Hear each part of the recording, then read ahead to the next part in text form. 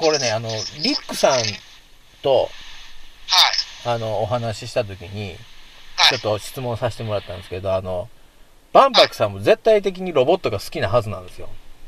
大好きですよ。ね。で、まあ一応、好きなロボットをこう、まあリアル系と、で、スーパーロボット系をちょっと一つずつちょっとじゃあ聞いてみようかなと思うんですけど、ほう。はい。えっ、と、じゃあ、リアル系のやつを。リアル系は僕はボトムズですね。あー、ボトム AD です。あースコープドッグですね。ああ、もう一番ベタなやつですか？はい。ああ。なるほどね。どれですか、ネゴさんは？俺、ボトムズ見てないんだよ。見てないかわかんないですね。あ僕はブルーティッシュか、ツバーグかどっちかですね。ツバーグの方が好きかな。ブルーティッシュかなっていう感じですね。ああ、すごいマニアックなとこ攻めてきますね。そうですか？ツバーグ、いいっすよ。ちょ、マニアックかなちょっと俺、全然伝わってこない。わかんないわ。でも、結構2の人って、あの、タートルとか、ビートルとか、あの辺のやつちゃうんですか？そうですね。好きな人多いですよね。ねあっち僕はの、どちらかというとやっぱあの原型っていうか一番そのなんだろう使い捨て感覚のああるスポーツが好きなんですあ、だってね、拾ってきたやつで、なんか助け、助けるために拾ってきた、うん。その AT でうん、組み立ててなんか戦ってませんでしたっけ？なんかそんな話ありましたよね。そうですそうですはいありました考えたらすごいですよね。主人公が乗るマシンが使い捨てみたいな。あそうなんですよ。しかもね、みんなのよりだ、なんか大体弱めなやつ。あ。そうですねね？なんかラライトカスタム言って倉庫剥がしただけのやつとか。ああそうですあの、ねえ要するに相手の AT がものすごい速すぎるんでそれに対抗させるためにほそ走行を剥がして軽くしたんですよえ、走行を離して軽なのに、その、その、ロビンマスク的な。そうそうそうそうそうそうそうだから当たったら終わりなんですよ当たったら終わりなんでそうひたすら避けながら戦うっていう。キリコやから、まあ、できるんできるんだ。キリコはパーフェクトソルジャーなんですよね。確か。そうですね。最初の頃はパーフェクトソルジャーだったんですけど、はいだんだんたちがもう、どんどん飛躍してて、まあ今、異能生存体っていう名前になっちゃいましたけどね。僕ね、後半はあんまり僕も知らないですよね。前そ半も後半も知らうですねない。。結構その、テレビシリーズが綺麗に終わったんですよ、ボトムズって。はいはで監督も本当は続編とか一切作るつもりないよって言ってたんですけど、い。はい。いろんな事情があって、続編どんどん作えっ。大人の事情、お金。いやね、そうそう人気がやっぱりすごいですかあ、ら人ね。気があるとね。だから、ベルゼルガだけで話作ったりとかしてますもんね。ああ、はいはい、ベルゼルが物語はいですね。。あと、メローリンクとか、結構ね、話がスはいスピンオフというか、はあ結構広がってってて、そうです、ねうん。すごい楽しい世界観で、いまあ、あの、多分、猫さんもハマら多はる。分見たら、やばい。やばいやつですねですよね。はいで。も多分、スピンオフはいくらでも作れそうな感じじゃないんですか？ああ、ただですね、ね。ボトムズってガンダムと違ってやっぱりその主人公のキリコありきの作品なんですよ。うん、あのそうですね。あの人いないと今までもいないやつも作られたんですよ何本か。はい。はいはい。ただやっぱりなんていうんですかねキリコがいないとなんか違うんじゃないのこれっていうなるんだ。そうなるんだ。なっちゃうんですね。そうそこがガンダムとやっぱちょっと違う一番違うと。あへー。ー結構だから、あの、小説で展開してたりとか、うん。はい。結構多いですもんね。あの、ビデオとかじゃなくて、うそうですんね読み物としてなってたりとかっていう。僕もね、あんまりその辺は詳しくはないんですけど。ええ。じゃあゲ、ームが結構、はい。あ、なんすか？はいあ、のーじゃあ、スーパーロボット系の、話膨らみすぎました。ね、スーパーロボットは僕はもう何と言っても、はいグ。レートマジンガーなんですよ。グレートマジンガ？はい。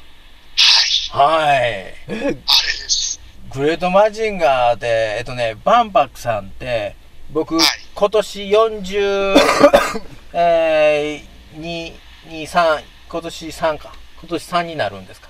僕自分の年齢分からへんなってきた。自分の映画の話してあります。そうそう、僕が43やから、バンパクさん、ちょっと上ですか？そうです。僕は今年で46になります。ああ、ですよね。僕はいの中で、はい。あの、基準なんですけど、はい僕よりちょっと上の人って、はいグレートマジンガー好きなんですよ。ああ、そうなんですよ。はいなんでグレートマジンガーが多分僕の世代が好きかっていうと、なんですか？おそらく、はいマジンガー Z 対暗黒大将軍を見ててる影響だと思うんですよ。ああ。それ映画ですよね。映画でしたね。あのテレビでも同じ、まあ展開的には同じなんですけど。東映漫画祭り的な。そうです。そうです。これね、僕らの上の世代が見てるんです。はい。で、まあ、その暗黒大将軍っていうのは、そのグレートマジンガーで出てくる敵なんですね。はいはい本来。で、それがまあ、マジンガー Z の最終回に出てくるんですよ。はいはいはい。で、そこでもうマジンガー Z ボッコボコにやられちゃうんですよ。やはいはいはいはいはい。はい。あの、機械銃とかもめもうすごい倒してたんですけど、全然強さが、次元が違うんですよ。はいそこに、さっそうと現れるのがグレートマジンガーなんですよ。はいはいはいで、もう指からの雷一撃で、そいつらをバシバシ倒して、剣使って、ザックザック切って倒していっちゃう。もうそれがあるんで、多分、僕らの世代は、ああかっこいいっていうのがあるんですね。はい。ああれいろいろとスペック上がってますもんねあ。それまあ、上がりすぎぐらいの感じですもんね。だってマジンガー Z は羽が生地から飛んできてくれないと飛べないのにそうそうそう。あいつ素で飛べます？そうですね。スクランブルダッシュで背中から羽が生えますからね、ただ、グレートマジンガーも後半になって、やっぱブースターつけて飛ぶようになるんですよ。実は。あーそうなの？さらに速度が必要になったんちゃうんですか？その簡易的についてるそうそう。で、グレートブースターっていう、まあ、ジェットスクランナーもっとごっついやつつけて飛ぶようになるんですよ。へーそうなんですよ。知らなんだいや、僕もね、グレートマジンが実はね、僕ら世代あんまりしわかんないんです。ピンとこないんですよ。いやでも見てたよ確かに俺グレートマジンガーですか、うんあ、そうですか。僕、グレンダイザーの世代やと思うんですわ。あちょっと後なんだそう、だから、カブト工事にがっかりするんですよね。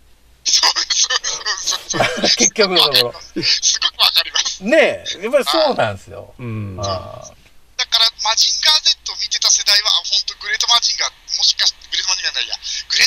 嫌いな人多いかもしれない。あー、わかりますわ。僕のねカップ工事が感じで。グレンダイザーから入るとうん、どうもないんですよ。確かにねあの、なんだあのドジな男前はぐらいの感じですよ。男前じゃね。あのいけてないやはい。なんだあの黄色の UFO はっていう。うん。そりゃそうかもしれないけはいどでももうちょっと見せ場作ってやってもいいじゃないかっていうそうですね。グレンダイザーは結構ね、裏の設定が結構シビアで、好きは好きなんですよね。どんな設定なんですか？ねあの、円盤銃って出てくるじゃないですか。はいはいはいはい。あの、円盤銃って、もともとは、はい主人公のいた星の住人の脳みそを使って動かしてるって設定だったんですよ。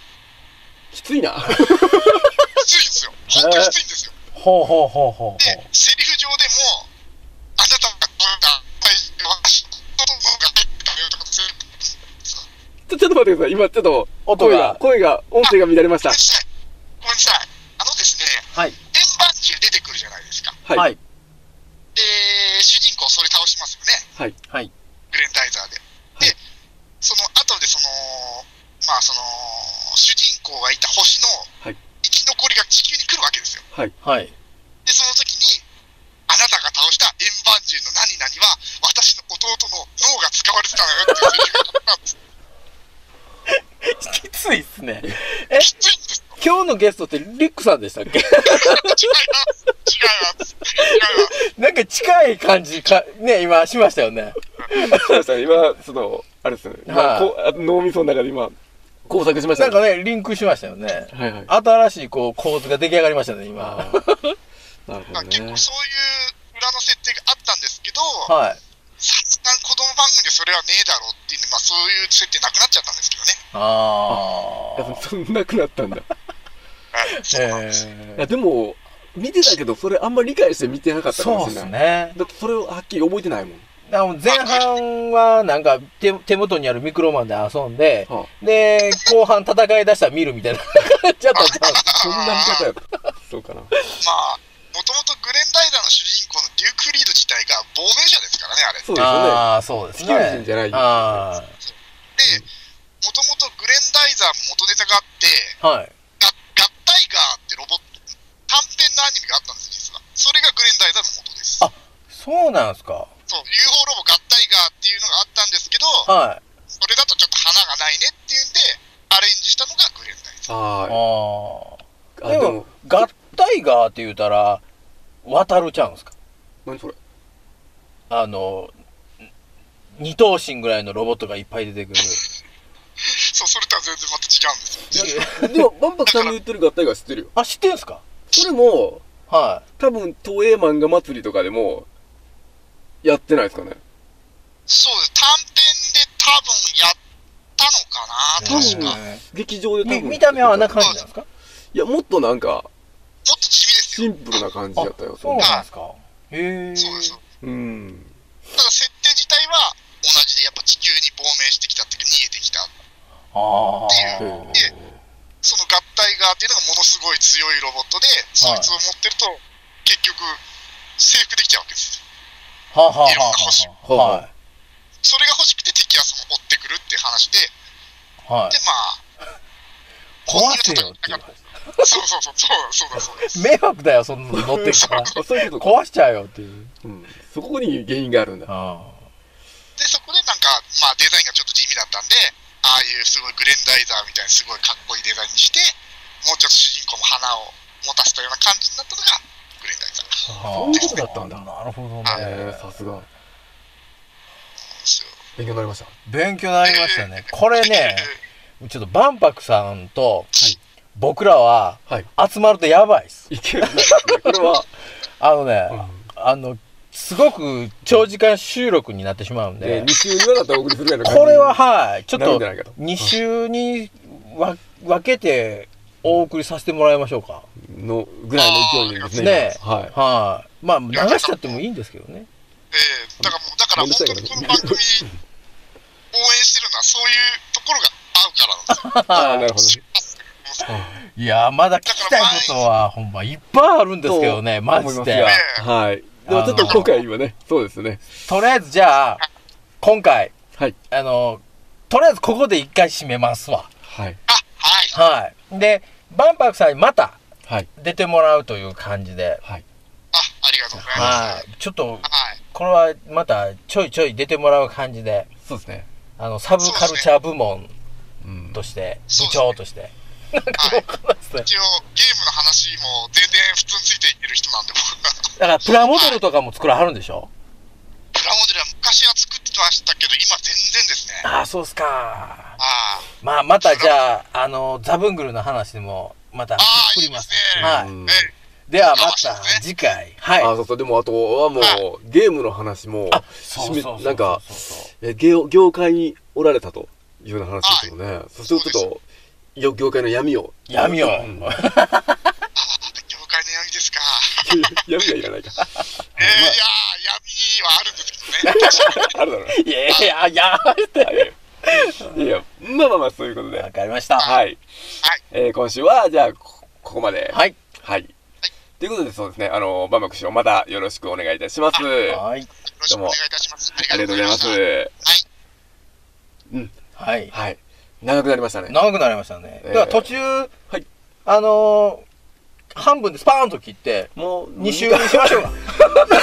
これ、もう、もういつもはバラで撮ってるんですけども、今回だけまとめて撮ったことにしときます。まあまあ、もう、もういらないこと言わなくていいです。はい。という、切切ったらいいんだからね。はい。ということで、はい。はい。今週これまで、これまで。はい。えー、ということで、また次回お会いしましょう。はい。はい。えー、See you next! 猫で、おばーん。チーということでいい血をいただきましたね。ありがとうございます。